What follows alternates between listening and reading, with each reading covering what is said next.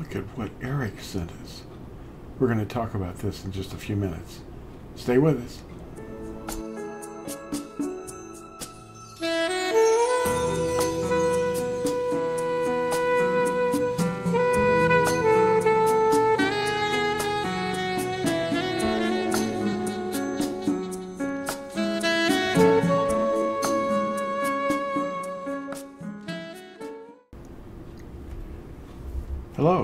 My name is Lew White.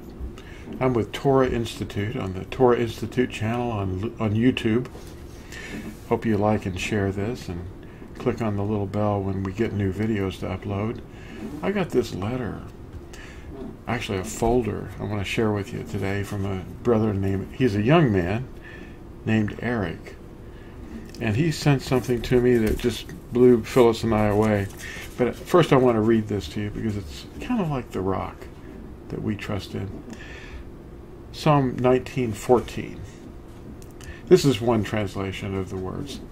May these words of my mouth and this meditation of my heart be acceptable in your sight, O Yahuwah, my rock and my redeemer.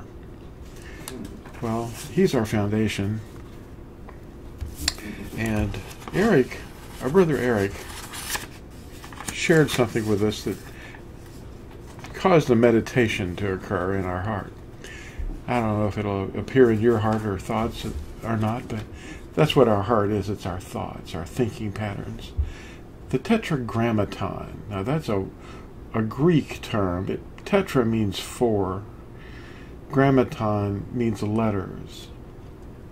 This name is very important, and when you discover it, and you do the research and you test your teachers, you'll find something very interesting.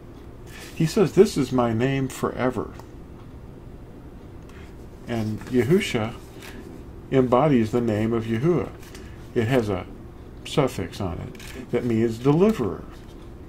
What does Yahuwah mean? Yahuwah means I was, I am, and I will be. We live in the present tense. We don't live in the past or the future, but he does. His name means that. He's eternal. That's why you see it under the definitions of his name. We live in the present only. If we remove our life in the present, then there's no future.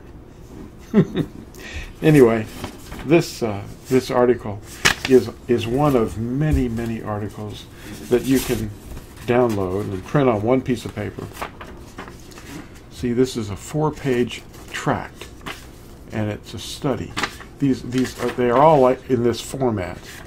And if you've got a, a subject that you'd like to discover, you can just go to torahzone.net and find the free PDF downloads.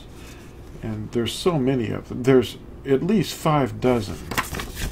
And these, these are an amazing way to quickly learn the will of Yahuwah. Things like this are adopted pagan festivals. Christmas, the bunny rabbit thing.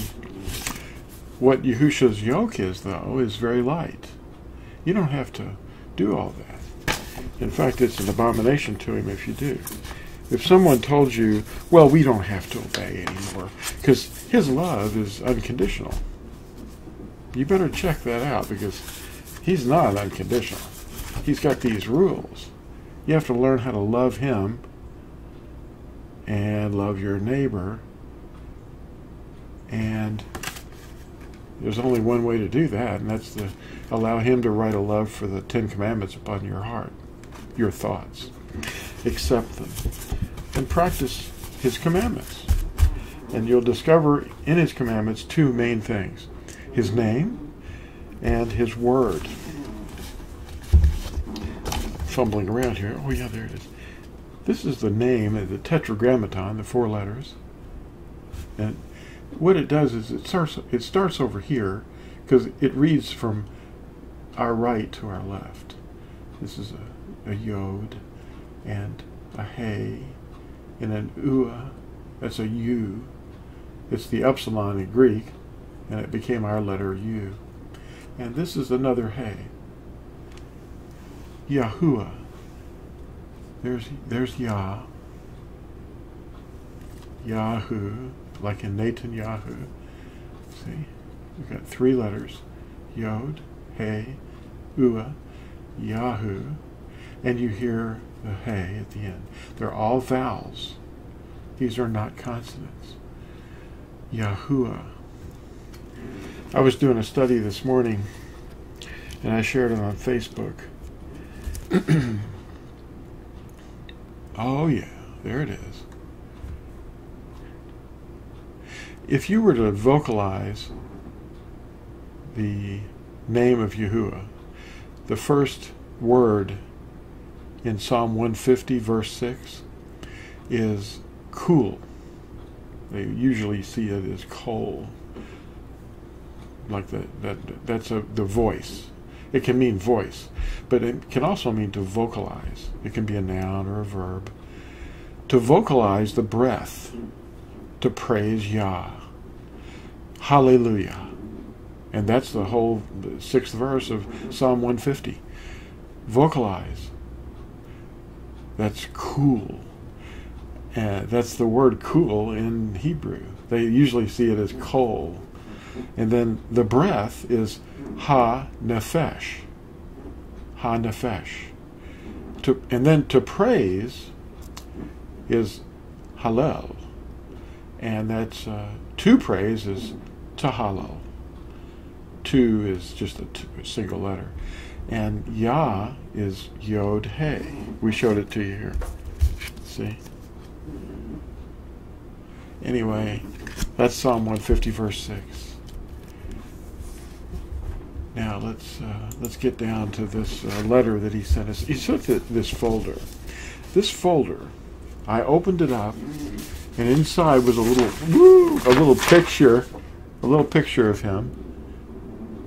He's a young man, and uh, out fell these little pages, uh, explanation of how he woke up to explain to people that evolution is a lie. And I want to show you this. He sent this too. What is this? A lot of people know this as it's real heavy. It feels like it's a solid square cubical uh, cube of gold. And a lot of miners used to, prospectors used to think they found gold when they saw this. But this is actually an iron type crystal called pyrite and it's come to be known as fool's gold. But it's formed in the ground, usually among rocks. This is a limestone rock it's embedded in. And he explained it to me, but you can look this stuff up. It's remarkable, isn't it? This is a, a mysterious cube. Look at it. It's inorganic. It has order and as Eric explains in his letter, it's just impossible without a creator to design it. N-A-T-U-R-E did not do this. There is no entity named that anyway. We just say that, well, the forest is a creation. It's a living, orderly design. And I call it Yahuwah's design, designed environment. It's not. It doesn't. It doesn't have a consciousness of itself, but he created it. Anyway, this is the letter. Oh, he also. I wanted to send you this. Let's show you this. Look at this. What? Snow crystals. It's a little book. It's not a little book, really. It's loaded. This thing. Look at each one. There's no two snowflakes that are the same. They're all like hexagons. A lot of people are afraid of hexagons. Yahuwah made a lot of them. They're in plant structures and inorganic matter, like snowflakes are falling out of the sky. One person said, it's like the cloud just started breaking off and falling down in these little snowflakes, you know, drifting to the ground. Um, oh, I think that was uh, a friend of ours named Jenny that said that, or Lilia. We talked to them a lot on the tele. Look at that, huh? Anyway, there's page, this is a thick book. And I guess you can color these in with various colors. Some of these are absolutely gorgeous. Look at this. And Eric's going to tell us about this book. And he's going to tell us about this pyrite. I've never seen this in my in my life. I bet none of you all have ever held this either. At least not this one. But look at this. This letter is remarkable. See if it speaks to you. Dear Brother Lew and Sister Phyllis, now we take no credit for what, what he learned through us. We're just messengers or ambassadors. But Yahusha opened this man's heart and taught him something. He says, I carry this rock and snowflake book on the bus to show the passenger next to me and ask them to tell me how this could be. Since these things are both inorganic, evolution is out of the question. How can perfect order come from random chaos? Kinetic mass can only further disintegrate itself. Now, kinetic mass is the, the word kinetic means in motion. So it's mass in motion can only further disintegrate itself and target and the target it hits on impact. It puts nothing together. You've all heard about the jet plane that flew out of the junkyard, fully gassed and crew on board and everything, and said, How'd that happen? Well, it isn't. But uh, it isn't happening. Anyway, it puts nothing together, especially not in mathematical order. Of course, they can't explain, so I say, It's our Creator, of course. His name is Yahuwah, a sharp golden metal cube that grows in the dirt. And ice laced designs with infinite variations on a theme of threefold rotational symmetry. Why aren't these formless blobs? Only Yahuwah, but you, know this. He's saying to me and Phyllis that we know this. And he's right. I know that. I send them to us to share my wonder and excitement and to thank you. They can't compare with the gift that you've given to me. You gave light and understanding to me, Brother Lew and Sister Phyllis. I love you because I know you by your fruit. It took tragedy to show me that Christianity was full-blown hoax, a most cruel and pernicious lie. The Messiah is not there.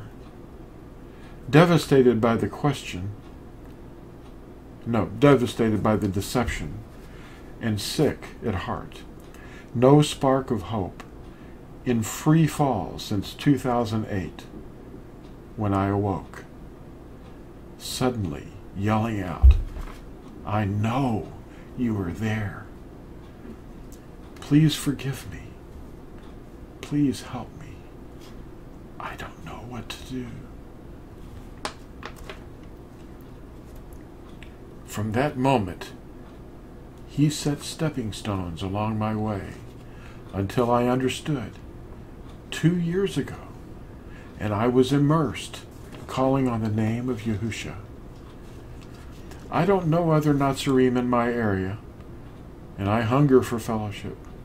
My name is Eric, and I live in Grand Junction, Colorado. And he asked me to share his email with anyone that wanted to talk with him. I just wanted to let you all know that it really matters. His name and his word are the highest of all things. This is Lew.